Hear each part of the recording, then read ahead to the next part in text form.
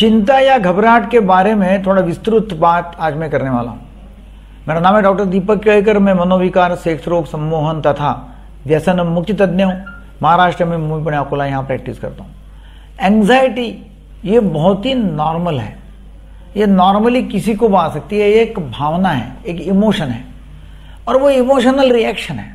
कुछ होता है तो अपन एक इमोशनल रिएक्शन देते हैं। In the form of anxiety जिसमें डर रहता है, घबराहट रहती है, बेचैनी रहती है।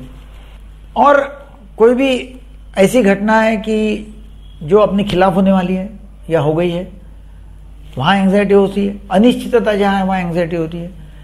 या कुछ अच्छी भी घटना हुई तभी भी एंग्जाइटी हो सकती है, क्योंकि वो फेस कैसा करे, उसकी जब चिंता होती है तो प्रॉब्लम जैसा कोई शादी है तो शादी के बारे में भी एंग्जाइटी कैसा होगा क्या होगा शादी के बाद में, उसके वजह से भी एंग्जाइटी हो सकती है।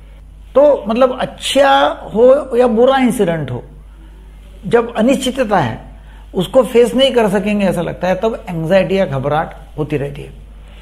यूजली ऐसा बोला जाता है कि जब ऐसी कोई सिचुएशन है तो आदमी क्या करता है कि फाइट करेगा मतलब उससे झगड़ेगा फ़्लाइट करेगा मतलब भाग जाएगा, या फ्रीज हो जाएगा मतलब वहाँ निश्चित पड़ जाएगा, गिर जाएगा फ्रीज होगा। तो ये तीन में से कुछ ना कुछ रिस्पॉन्स वो देता है। यूजली क्या होता है कि वो एंग्जाइटी किसी को होती है। जैसे एग्ज़ाम है तो उसको एंग्जाइटी होना स्वाभाविक है नेचुरल है। एयरपोर्ट पे जाने का है और फ्लाई करना है कहीं तो एंग्जाइटी होना स्वाभाविक है, कोई प्रॉब्लम नहीं है। मगर वो एंग्जाइटी बहुत ज़्यादा रहना, वो प्रॉब्लमेटिक है। एंग्जाइटी डिसऑर्डर वालों को छह अलग अलग बातें मैं आपको बताऊँगा, छह पॉइंट्स जिसमें वो एंग्जाइटी डिसऑर्डर ऐसा हम बोल सकते हैं। नंबर एक, बिना कारण, बिना अपेक्षित बहुत ज़्यादा चिंता रखना। कोई कारण नहीं और कोई अपेक्षा भी नहीं तो भी बहुत चिंता रहती। तो नंबर एक। नंबर दो, बहुत ज़्यादा रिस्पॉन्स देना। मतलब घटना छोटी सी है, उसको रिएक्शन बहुत ज़्यादा होती है। अपने को समझता नहीं, इतना ज़्यादा रिस्पॉन्स कैसा है? इतनी ज़्यादा एंग्जाइटी क्यों भाई? जब घटना इतनी बड़ी नहीं है तो। तो वो एंग्जाइटी डिसऑर्डर का कारण हो सकता है, नंबर दो। नंबर तीन, जो डर है वो अनरियलिस्टिक है। मतलब रियलिटी में ऐसा कुछ नहीं है डरने लायक, मगर इनको डर लग रहा है। तो वो एक अनरियलिस्टिक फियर जो है, वो एंग्जाइटी डिसऑर्डर में होता है। नंबर चार प्रॉब्लम खत्म होने के बाद या सिचुएशन खत्म होने के बाद भी ये व्यक्ति डरा सा रहता है, घबराहट रहती है। अभी वो नहीं है, वो प्रॉब्लम नहीं, तभी भी एंग्जाइटी है तो एंग्जाइटी डिसऑर्डर का लक्षण हो सकता है।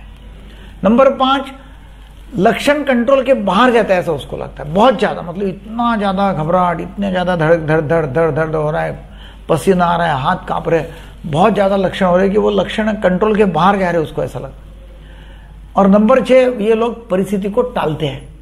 जहाँ एंग्जाइटी उनको होती है, वो नहीं जाएँगे वहाँ।